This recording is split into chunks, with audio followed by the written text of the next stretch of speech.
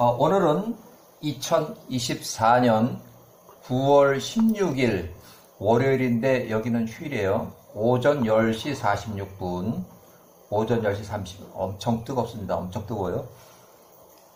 자, 마무레의 마무레라는 그 지역 이름 또 사람 이름에 관한 개인적인 설명을 추가했는데 창세기에는 14장 13절에 나오고 그 전에도 나오고 그래요. 그래서 창세기에도 나오고 또 야살책에도 나오고 어, 영문판에 읽어보면 영문판을 좀 창세기 쪽 어, 제네시스를 읽어보면 14장에 13에 관련된 거를 다 봤어요. 그러니까 이 부분이 영문판마다 조금씩 다르게 기록이 돼 있어요. 조금 조금씩 다르게.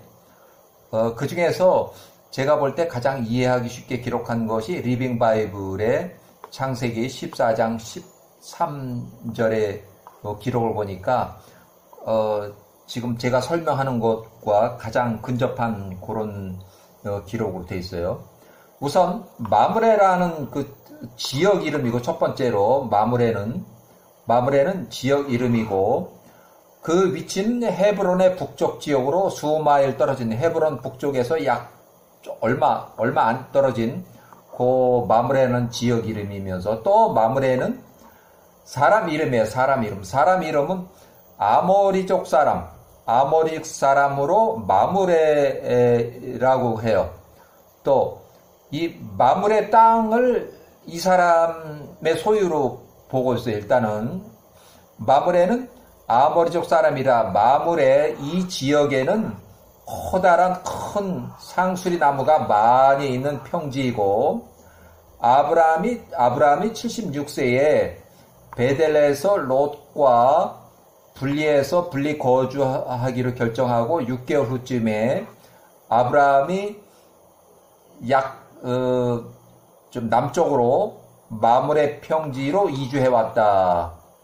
그러니까 이제 그 이집트에서 베델로 일단 올라갔다가 베델에서 아, 롯과 자꾸 이제 초지가 부족해서 다툼을 하고 뭐 이렇게 목동들이 싸우고 뭐 이러니까 또 그 주변에 그 베델의 그 거주민들이 자꾸 아브라함한테 와서 따지고 그러니까 일단 롯을 내려 보내고 그다음에 아브라함도 이 마물의 평지로 이주해 온 거예요. 아브라함이 마물의 평지에 천막을 쳤고 이 지역의 땅 소유주로 보이는 아모리 사람 마무레라는 사람하고 어, 아주 긴밀하게 협력하였다. 그러니까 협력이 아주 얼마나 잘 됐냐면 목숨을 줄 정도로 그 정도로 잘 됐어요. 그리고 마무레란 이 사람의 형제는 아나르라는 사람하고 그 다음에 창세기 아넬, 아스콜이라는 사람, 창세기 에스콜로 되어 있어요. 창세기 14장 22절에 그래서 읽어보면 야셀 책의 16장을 읽어보면 야셀 책의 16장을 그대로 인용해 보면 창세기는 14장에 나오는 그 내용이에요. 14장 24절에 나오는 내용.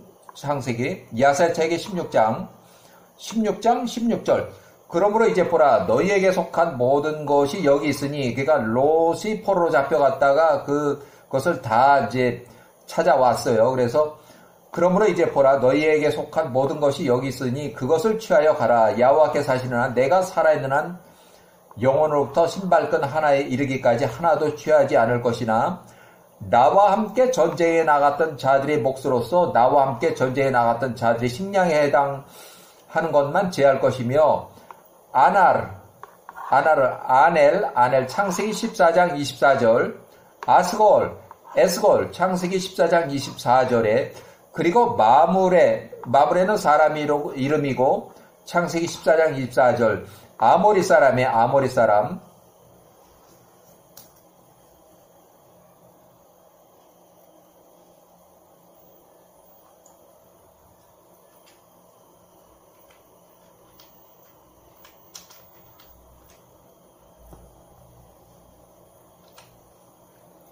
그들과 그들 사람들 또한 이 물건들을 지키에 남아있던 자들 그들도 전리품에 대한 그들의 몫을 취할 것이다 이렇게 해서 해놨어요. 그래서 이 마무레가 어 일단 저 추가된 거를 좀, 좀 보죠. 요 다, 다른 그 내용으로 자 위에 위에 위에 위에 가서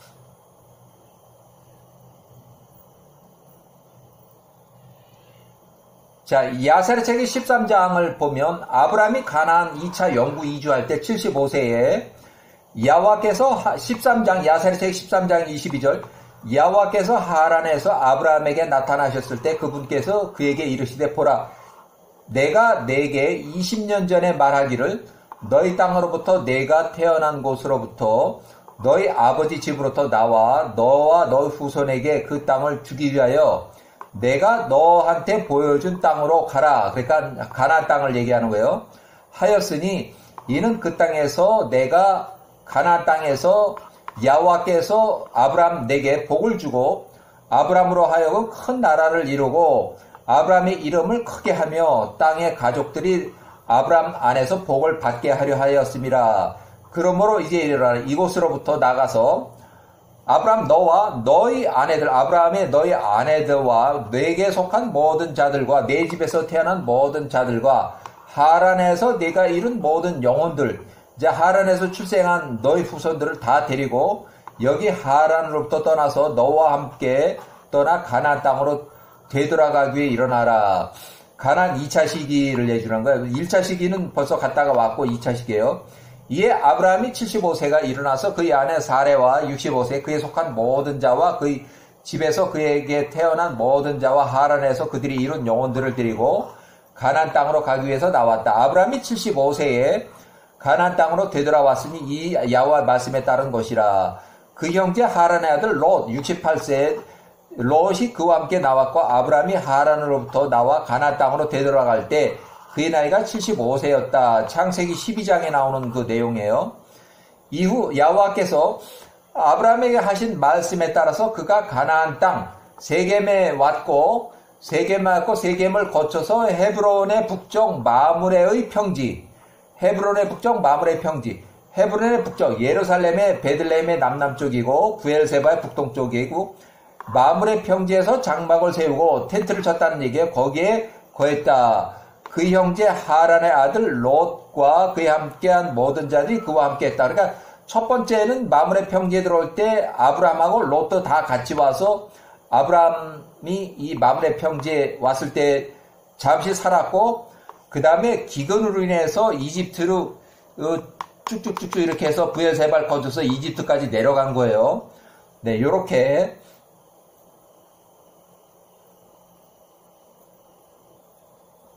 자, 야와께서 다시 아브라함에게 나타나서 말씀하신 내가 이 땅을 내 후손에 주리라고 하였고 그가 거기서 그에게 나타나신 야와께 한 재단을 쌓았으니 그것이 오늘날까지 헤브론의 북쪽 평지, 마물의 평지, 예루살렘의 남남쪽.